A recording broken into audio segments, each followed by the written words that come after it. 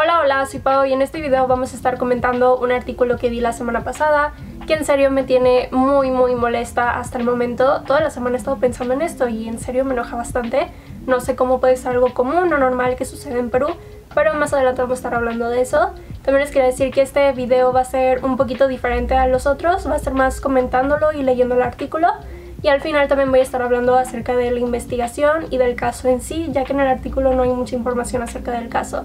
Antes de empezar con el video, como siempre, le quiero dar las gracias a los miembros del canal por todo el apoyo que me dan.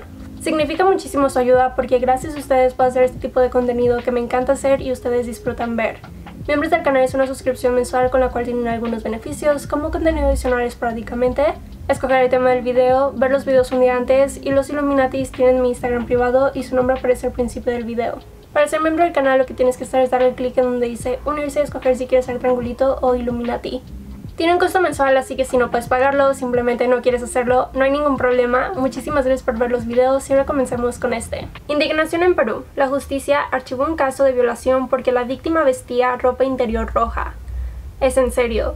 Cuando leí este título, no lo voy a creer. No puedo creer que realmente archiven un caso de un delito tan grave solamente por el color de la ropa interior de la víctima. El tribunal, integrado por dos mujeres y un hombre, consideró que la supuesta personalidad que presenta la misma, tímida, no guarda relación con la prenda íntima que utilizó el día de los hechos. No sabía que tu tipo de personalidad decía qué tipo de color de ropa interior podías usar o no. Los jueces mencionaron, además, que en los testimonios de la denunciante existirían omisiones, mientras que el imputado sostuvo que fue acusado por venganza. Voy a hablar más acerca de esto al final del video, o después de que terminemos de leer el artículo.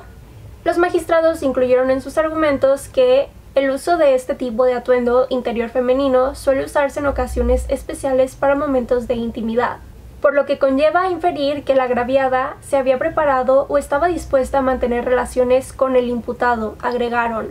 No puedo creer que realmente magistrados dijeron esto. ¿Es en serio que creen que el tipo de ropa interior que usas, el color de ropa interior que usas determina si tienes ganas o si te estás preparando para tener intimidad más tarde, claro que no, simplemente es un color de ropa interior. No porque uses ese tipo de color significa que ya estás preparada para la intimidad o significa que es una excusa para que un hombre te pueda violar. Ante esto, el segundo despacho de la Segunda Fiscalía Provincial Penal Corporativa de Ica solicitó la nulidad de la sentencia y el inicio de un nuevo proceso en otro tribunal. Me alegra que realmente haya salido algo positivo de esto que se dieran cuenta de que esto es algo absurdo, que no debería ser parte de las leyes y van a hacer un nuevo proceso. El Ministerio de la Mujer manifestó por su parte su profundo rechazo ante los argumentos de los magistrados y consideró que no se encuentran conforme con las normas vigentes nacionales e internacionales al contener un razonamiento estereotipado y revictimizante para la denunciante del caso. La erradicación y sanción de la violencia contra las mujeres solo podrá ser posible con un poder judicial imparcial y consciente de su rol fundamental frente a los fines de la erradicación de la violación y discriminación basadas en género. Tras conocerse este caso, integrantes colectivos feministas y de derechos humanos se manifestaron frente a las sedes principales del Poder Judicial de Ica y de Lima, para rechazar los argumentos usados para archivar este caso con una sentencia machista. Me parece indignante que esto sea posible y que los jueces sigan teniendo esta mentalidad machista y de culpar a la víctima. ¿Cuándo se va a dejar de culpar a la víctima?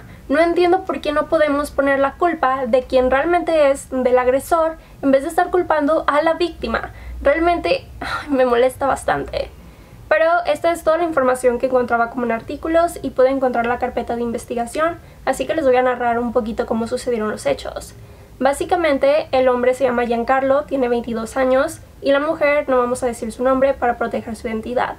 Ellos han sido amigos desde pequeños ya que son casi vecinos, me parece que separan sus casas dos casas en medio. Los hechos sucedieron en enero de 2019, cuando Giancarlo le pidió a la víctima que lo acompañara a recoger su diploma en la escuela. Ella accedió ya que han sido amigos desde pequeños. Fueron a la escuela, pero la escuela estaba cerrada. Entonces él le dijo, bueno, igual vamos a celebrar, vamos a este restaurante donde también es un bar. Ella accedió y dijo que tenía que estar en su casa temprano. Él dijo que sí, que no había ningún problema. Al llegar ahí se encuentra con uno de los amigos de Giancarlo, que misteriosamente estaba ahí. Después comienzan a platicar y se ordenan alcohol. Ella solamente se tomó una cerveza por las primeras tres horas y, según tengo entendido, ella le estaba pidiendo que ya se retirara. Después la pudieron convencer y le dijeron que ordenara otra cosa y que se iban a quedar más tiempo. Ordenaron una botella y ahí es cuando tanto ella como Giancarlo se ponen bastante ebrios. En la madrugada, Giancarlo le habla a su abuelo para que lo recoja, ya que él es taxista, y los lleva a la casa de Giancarlo. Ella dice que no recuerda absolutamente nada de lo que pasó en ese transcurso, no sabe por qué fue a la casa de Giancarlo y por qué simplemente no la llevaron a su casa, que está en la misma calle. Ella recupera la conciencia cuando él ya está cometiendo el acto de agresión. Ella se sorprende mucho, se levanta y le pregunta qué estás haciendo. A lo cual él estaba, según él, estaba medio dormido y no sabía a lo que se refería. Él estaba completamente desnudo y ella tenía la parte de abajo baja, no tenía su ropa interior. Entonces le pide que por favor salgan de su casa. Él comienza a cambiarse, dice que ella trató de irse de su habitación, pero no podía abrir la puerta, así que se volteó mientras él se cambiaba y después él acompañó hasta fuera de su casa. Cuando ella llega a su casa comienza a llorar, le cuenta a su mamá lo sucedido y van a poner la denuncia.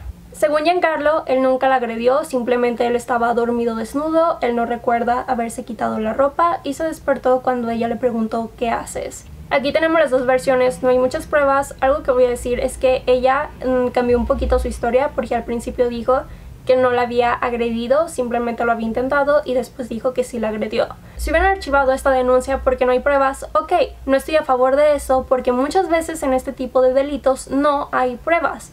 Por eso el testimonio de la víctima tiene valor probatorio. Igual, si lo hubieran archivado por falta de pruebas, ok, no estoy a favor, pero lo entiendo pero que lo archiven por su color de ropa interior me molesta bastante. En especial porque los jueces mencionaron algo acerca como de que usando este tipo de ropa interior ella estaba preparada para tener intimidad. Ella ni siquiera tenía planeado, uno, quedarse a dormir con él, dos, ir a este bar y tomar. Y además, él le dijo que iban a ir a su escuela a recoger su diploma. Entonces no hay relación entre esto. Y aún sabiendo todo esto, culpan a la víctima por su color de ropa interior.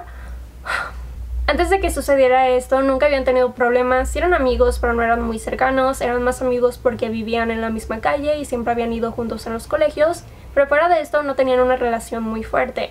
Giancarlo mencionó que ella hizo esto por venganza, porque ella siempre estuvo enamorada de él, aunque ella dijo que no había sido cierto. Según Giancarlo, cuando estaban en el restaurante, ella se le insinuó, a lo cual él la rechazó y dijo que su novia estaba embarazada y que pronto empezarían una familia pero según ella nunca se le insinuó y él simplemente hizo ese comentario de la nada.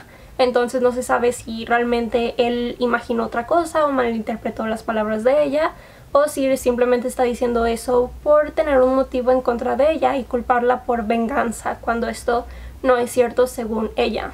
Encontré más información del caso en la carpeta de investigación, por ejemplo, que los familiares de Giancarlo que estaban adentro de la casa cuando sucedieron los hechos no escucharon nada, no escucharon que ella se quejara, ni alguna discusión ni nada, por lo cual ellos creen que realmente esto no pasó. De todas formas, creo que es un caso abierto, obviamente como mencioné no hay muchas pruebas, pero en este tipo de casos, vuelvo a repetirlo, el testimonio de la víctima tiene valor probatorio. Eso es todo por este caso. En la parte de los comentarios por favor déjenme su opinión porque quiero saber qué opinan acerca de todo esto. Si les gustó el video por favor den like, si no están suscritos deben suscribirse y activar la campanita de notificaciones para que les llegue notificación cada vez que suba un nuevo video. Si me quieren seguir en mis redes sociales, aquí está apareciendo mi Twitter mediocre en el cual no publico nada interesante, pero si me quieren ir a seguir, son bienvenidos a hacerlo. Y también mi Instagram donde definitivamente me tendrán que seguir porque subo fotos bonitas y estoy un poquito más activa en mis historias. Los quiero muchísimo y nos vemos en el próximo video. Bye!